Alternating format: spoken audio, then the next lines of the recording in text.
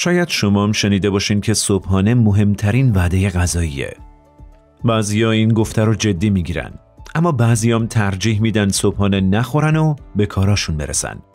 البته بدترین چیز حتی بدتر از صبحانه نخوردن خوردن صبحانه ناسالمه. یه صبحانه سالم و مقوی باید محتوی فیبر، پروتئین و چربی های سالمی باشه که انرژیتون رو تأمین و شکمتون رو سیر کنه. اما در مقابل اون یه صبحانه ناسالم می‌تونه باعث سنگینی، بیحالی و کسالت، افزایش وزن و بیماری های مزمن بشه. سلام و درود میگم. سیاوش پاکزاد هستم و به واو خوش اومدین. تو این برنامه می‌خوایم ببینیم بدترین خوراکی هایی که می‌تونید در وعده صبحانه میل کنید چیان. خوراکی هایی که افراد موفق تو وعده صبحانهشون استفاده نمی‌کنن. اولین موردی که بررسی می‌کنیم غلات صبحانه است. بعضیا تصور می‌کنن غلات صبحانه برای کودکان بزرگسالان انتخاب مغذی و سالمیه. معمولا روی بسته غلات صبحانه ادعا بر سالم بودن مغذی بودن این غذا میشه.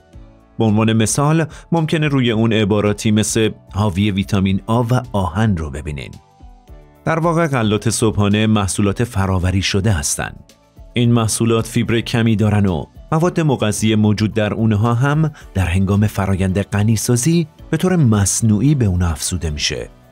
بر اساس مطالعه‌ای که در این زمینه صورت گرفت، میزان ابتلا به بیماری در کودکانی که غلات صبحانه غنی شده مصرف می‌کردن در مقایسه با دیگران اصلا تفاوتی نداشت. غلات صبحانه معمولا حاوی قله تصویه شده است یعنی قله‌ای که در فرایند استخراج فیبر و بسیاری از مواد مغذی از اون جدا شده. و مهمتر از همه حاوی مقدار زیادی شکره. معمولا شکر تو ترکیبات تشکیل دهنده غلات صبحانه اولین یا دومین مورده. ترتیب نوشتن مواد تشکیل دهنده نشون از مقدار اون ماده در محصول داره. بر اساس مطالعه‌ای که در سال 2015 روی چند محصول رایج صبحانه انجام گرفت مشاهده شد شکر دریافتی افرادی که روزی یک فنجان غلات صبحانه مصرف می‌کردند بیشتر از افرادی بود که روزانه سه عدد کوکی شکلاتی مصرف می‌کردند. حتی در صورتی که در این محصولات از غلات کامل استفاده بشه بازم به دلیل شکر زیادی که دارن بسیار مضرن. مصرف بالای شکر احتمال بروز چاقی، دیابت نوع دو، بیماری قلبی و سایر بیماری های مزمن رو افزایش میده. مورد دوم پنکیک و وافله.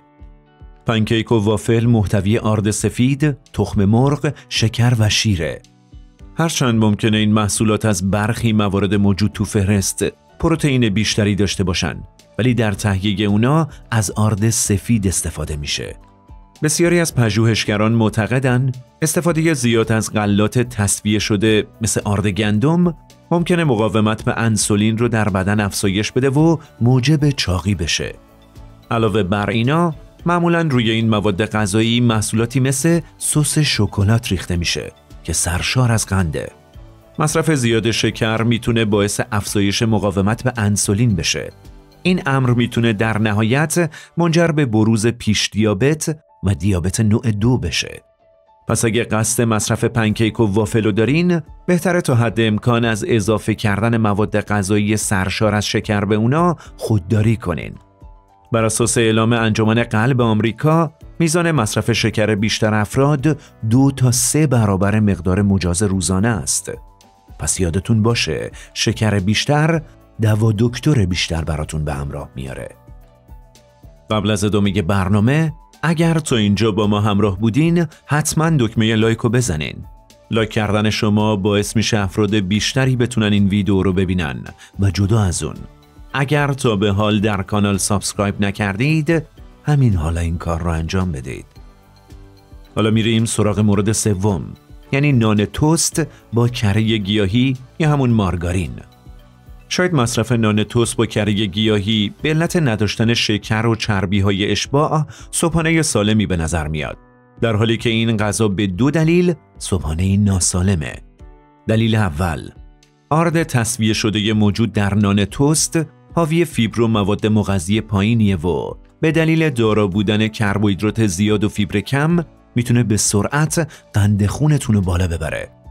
افزایش قند خون می‌تونه باعث بازگشت گرسنگی و پرخوری در وعده غذایی بعدی بشه.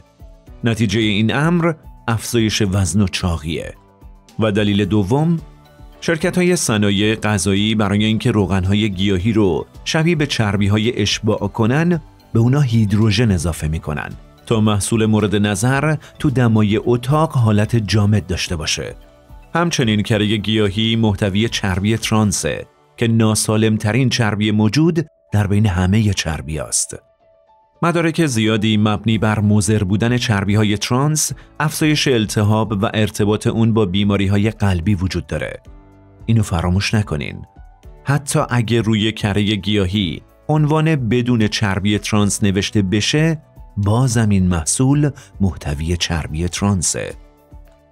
حالا میریم سراغ چهارمین مورد لیست. یعنی مافین یا کیک. برخلاف شهرت مافین به عنوان غذایی سالم در واقع مافین کیک کوچیکیه که لباسشو عوض کرده مافین تقریبا همون کیک یزدی خودمونه مافین از آرد تصویه شده، روغن نباتی، تخم مرغ و شکر درست شده. تنها ماده مغذی موجود در اون تخم مرغه. علاوه بر این، بیشتر مافینایی که به طور تجاری تو بازار وجود دارن، اندازشون خیلی بزرگه. بر اساس اعلام وزارت بهداشت اندازه اغلب مافینای موجود در بازار حدوداً سه برابر اندازه که باید در هر وعده خورده بشه. تو سی سال گذشته افزایش حجم مواد غذایی مصرفی در هر وعده نقش مهمی در افزایش موزل چاقی بازی کرده. بعضی اوقات روی مافین شکر، چیپس شکلات یا میوه خشک میریزن که این کار باعث افزایش بیش از پیش شکر و کالری اون میشه. پنجمین مورد لیست آب میوهان اگه دنبال خوراکی هستین که از گرسنگی، افزایش وزن و بروز بیماری های مزمن جلوگیری کنه، آب میوه یکی از بدترین انتخاب است. خیلی از آب میوه های موجود تو بازار مقدار کمی میوه طبیعی دارن و سرشار از شیرین کننده ها، شکر و شربت ذرت با فرکتوز بالا هستند. مقدار بالای شکر موجود تو آب میوه احتمال بروز چاقی، سندروم متابولیک، دیابت نوع دوم و سایر بیماری ها را افزایش میده. حتی اگه به آب میوه شکر اضافه نشه، بازم آب میوه به خودی خود محتوای مقدار زیادی قنده. مصرف زیاد آب میوه حتی طبیعیش می‌تونه موجب افزایش وزن بشه و همون تاثیرات مخرب آب میوه های صنعتی پرشکر رو داشته باشه. در آب میوه چربی و فیبر وجود نداره که سرعت جذب رو کاهش بده. بنابراین آب میوه ها قند خون رو به سرعت افزایش میدن. نتیجه این امر افزایش ناگهانی انسولین خون، کاهش قند خون و احساس خستگی و گرسنگی مصرف کننده است. در انتها باید بگم مواردی که به اونا اشاره کردیم فقط چند نمونه از صبحانه های ناسالم بودن. غلات برای سلامتی مفیدن اما به شرطی که سبوس و فیبرشون در طی فرایند تصویه از اونا جدا نشه. بهتره برای صبحانه از نانهایی مثل نان سنگک که حاوی سبوس و فیبر استفاده کنین. مصرف زیاد چربی به خصوص چربی های اشباع می‌تونه خطر بسیاری از بیماری های قلبی رو افزایش بده. پس بهتر مصرف چربیتون رو کاهش بدید و تا حد امکان از چربی های سالم استفاده کنین. مصرف شکر علاوه بر افزایش چاقی می‌تونه احتمال بروز بسیاری از بیماری های مزمن رو افزایش بده. پس بهتره مصرف شکر رو کاهش بدید. شکر نباید بیشتر از 5 درصد کالری دریافتی روزانتون رو تشکیل بده. صبحانتون باید محتوی پروتئین، فیبر و مقداری چربی باشه. پروتئین هایی مثل تخم مرغ و شیر، نانهای سبوسدار و فراورده های تولید شده از غلات کاملم برای صبحانه عالیان. میوه های کاملم در کنار این مواد غذایی می‌تونن صبحانه مقوی رو براتون فراهم کنن. بهتر صبحانتون رو خودتون آماده کنید و تا حد امکان از مصرف خوراکی هایی مثل کیک، آب میوه ها، سوسیس، کالباس و سایر غذاهای تجاری خودداری کنین. در انتها فراموش نکنین که این برنامه رو حتما با دوستان و عزیزانتون به اشتراک بگذارین. برای بررسی درمان تنبلی با روش عجیب سامورایی های ژاپنی بهتون پیشنهاد می‌کنم حتما این برنامه متفاوت رو ببینین.